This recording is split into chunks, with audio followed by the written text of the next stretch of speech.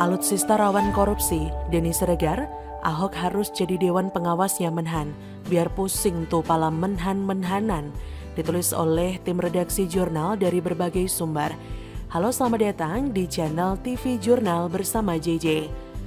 Polemik soal rencana anggaran pembiayaan alat utama sistem pertahanan atau alutsista masih menjadi perbincangan yang ramai di publik. Terlebih lagi bocornya rancangan anggaran ini yang menjadi tanda tanya, sebab rancangan tersebut merupakan rahasia negara. Dilansir dari fajar.co.id, rancangan belanja tersebut tertuang dalam rancangan peraturan presiden Perpres tentang pemenuhan kebutuhan alat peralatan pertahanan dan keamanan Kementerian Pertahanan dan Tentara Nasional Indonesia tahun 2020-2024. Disebutkan dalam rancangan perpres tersebut angka yang dibutuhkan untuk membeli alat utama sistem senjata Tentara Nasional Indonesia adalah sekitar 1.700 triliun lebih. Pegiat media sosial Denis Siregar ikut berkomentar soal rencana Menteri Pertahanan Prabowo Subianto untuk membeli alat utama sistem pertahanan senilai 1.760 triliun rupiah atau 1,7 kuadriliun. Denny mengaku pembelian alutsista merupakan rahasia negara karena itu untuk mengauditnya pun sangat susah.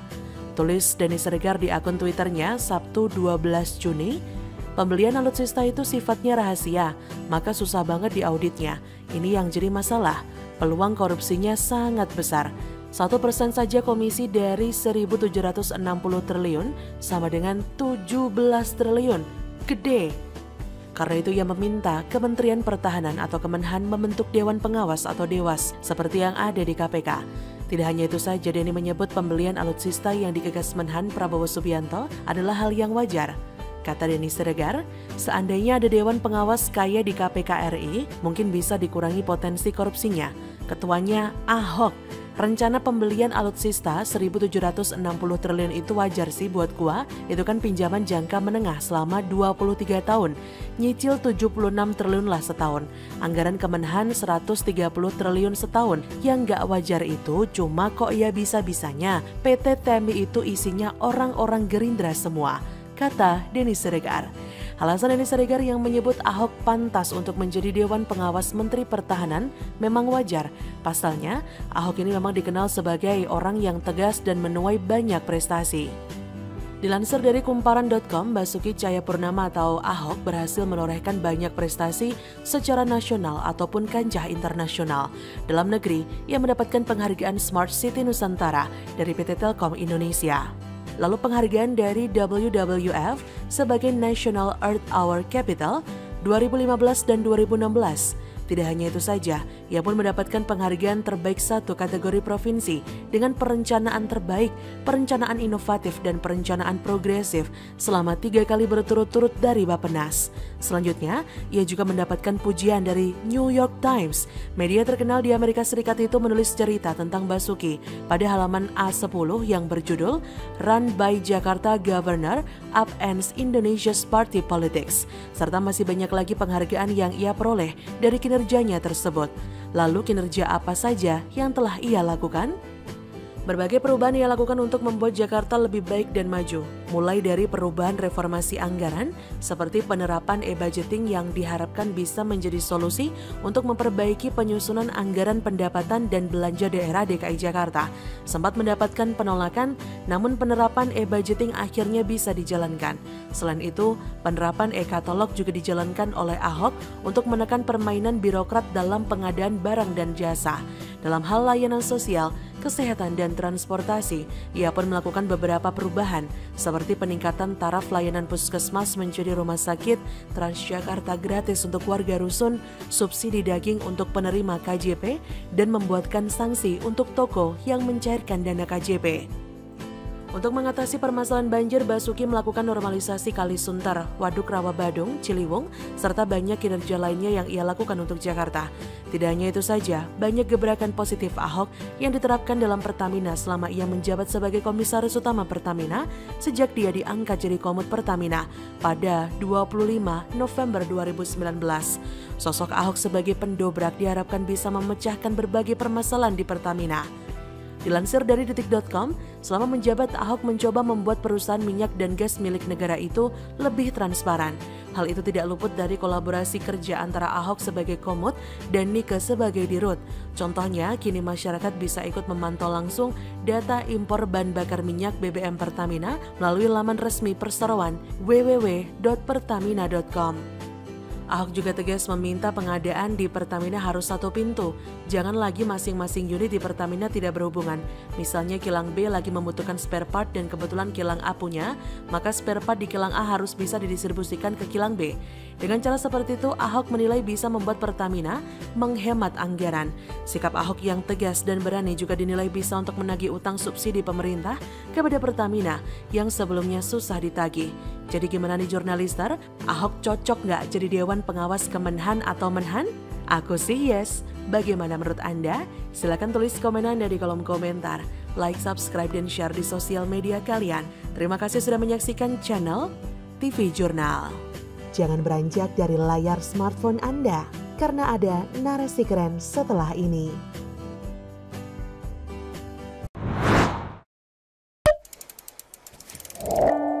Geger Geden, terungkap alasan Prabowo mau jadi bawahan Jokowi dan bocornya belanja alutsista 1,7 kuadriliun. Eh, kenapa lebih milih Dedi daripada Najwa ya? Ditulis oleh tim redaksi jurnal dari berbagai sumber.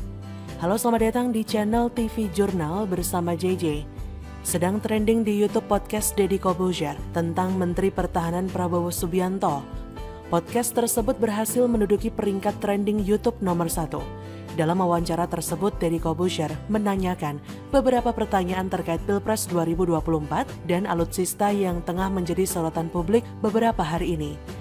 Prabowo juga belak-belakan terkait alasannya untuk mau menjadi Menteri Presiden Joko Widodo, lawannya saat maju pada Pilpres 2014 dan 2019. Dilansir dari kompas.com, Prabowo menyebutkan bahwa tujuan mereka adalah sama, yaitu untuk mengabdi kepada Indonesia. Jadi menurutnya tidak salah jika mereka bekerja sama untuk Indonesia, yang tentu saja lebih baik. Kata Prabowo, kita sama-sama merah putih, sekarang begini. Kita rival dalam satu kompetisi, nah apakah rival dalam kompetisi harus jadi lawan? Coba kita ingat waktu kita di sekolah ada yang menang lomba lari. Lalu setelah kompetisi usai apa kita masih kebuka-bukan? Seru Prabowo dalam podcast Deddy Kobuja. Beliau mau jadi presiden, saya juga mau jadi presiden. Dia ingin jadi presiden untuk mengabdi, untuk berbakti untuk Indonesia. Nah, saya juga begitu, mau mengabdi untuk Indonesia. Saya juga begitu, kata Prabowo. Sekilas dari pernyataan Prabowo tersebut tampak sekali jika jiwa nasionalisme yang muncul dari pribadinya memang tidak gampang untuk menerima kekalahan. Jika kita melihat perhelatan Pilpres 2019 lalu, tentu kita tidak lupa apa yang dilakukan Prabowo setelah dinyatakan bahwa yang memenangkan pilpres tersebut adalah pasangan Jokowi dan Ma'ruf Amin. Hal-hal memalukan mulai dari klaim kemenangan berdasarkan hasil survei internal, sujud syukur kemenangan hingga menggugat ke pengadilan, sampai dengan posisinya sekarang menjadi Menteri Pertahanan, meski memang tidak terlalu tampak prestasi yang dia torehkan. Tidak bisa dipungkiri bersedianya Prabowo Subianto menjadi menteri ini ditentang oleh pendukungnya. Bahkan Bani Kadrun yang sempat kuat mendukungnya saat perhelatan Pilpres pun melepehnya. Seperti ungkapan Ketua PA 212 yang menyebut bahwa Prabowo sudah selesai. Dan kini setelah dua tahun menjadi pembantu presiden, publik pun dikejutkan dengan bocornya informasi mengenai rencana kemenhan dalam hal pengadaan alutsista yang dananya bisa mencapai 1.700 triliun lebih itu. Menjawab hal tersebut Prabowo Subianto menjelaskan, kurang lebih ya 10 hari sesudah dilantik saya kebetulan di istana, beliau Jokowi panggil saya. Beliau bilang, Menhan saya ingin suatu master plan, saya ingin suatu grand design, saya minta 15 sampai 25 tahun jangan dicicil. Saya minta utuh, apa yang kita butuh, rencanakan.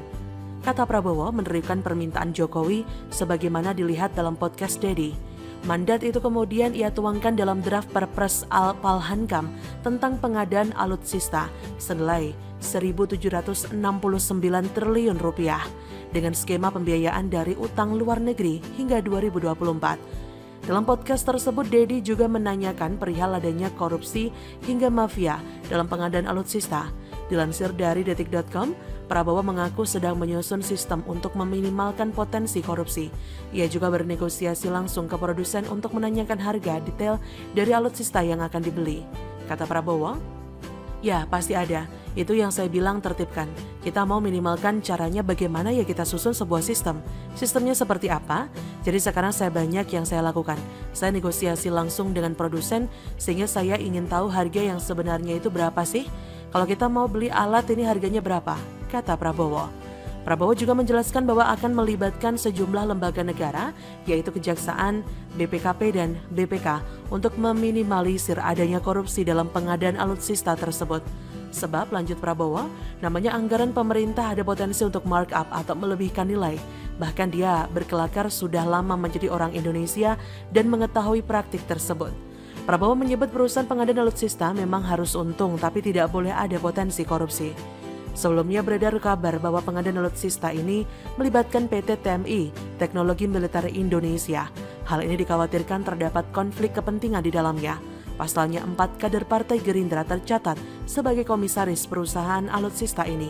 Mereka adalah Glenny Kairupan, Yudi Magio Yusuf, Prasetyo Hadi, dan Anggaraka Prabowo. Sesuai dengan Akta PT Teknologi Militer Indonesia Glenny menjabat komisaris utama perusahaan, sedangkan ketiga orang lainnya sebagai komisaris. Prabowo telah menyebut nama Jokowi dalam kaitannya sebagai mandat yang diberikan Presiden untuknya. Mandat itu kemudian ia tuangkan dalam draft Perpres Alpal Hankam tentang pengadaan alutsista senilai 1.769 triliun rupiah. Apakah ini berarti Prabowo menyeret nama Jokowi? Ataukah ini salah satu strategi kabur dari permasalahan alias escape plan dari Prabowo agar tidak sendirian disalahkan soal anggaran belanja kuadriliun? Lalu mengapa Prabowo menjelaskan polemik tersebut di podcast Deddy Kobusier? Apakah segitu takutnya rencananya diungkap publik hingga membutuhkan ruang klarifikasi tersebut untuk menjawabnya? Padahal kalau dipikir-pikir bisalah mengadakan konferensi pers dari Kemenhan sendiri, penjelasan gamblang ia bisa tuangkan di situ. Eh ngomong-ngomong kenapa Om Prap tidak memilih acara Mata Najwa saja ya? Takut ditanya Najwa siap terus gak bisa jawab ya? By the way, mohon maaf nih Om Ded. Saya lihat selama ini dari semua bintang tamu yang Om Deddy hadirkan, apalagi dari kalangan pejabat, Om Deddy sepertinya ngikut ngalor ngidol. Ya, iya saja sama pendapat narasumbernya. Mungkin ya Om, mungkin Om Deddy belum terlalu smart soal politik. Hehehe, maaf loh Om, saya bertanya, nggak nuduh. Bagaimana menurut jurnalister? Silahkan tulis komen Anda di kolom komentar. Like, subscribe, dan share di sosial media kalian. Terima kasih sudah menyaksikan channel TV Jurnal.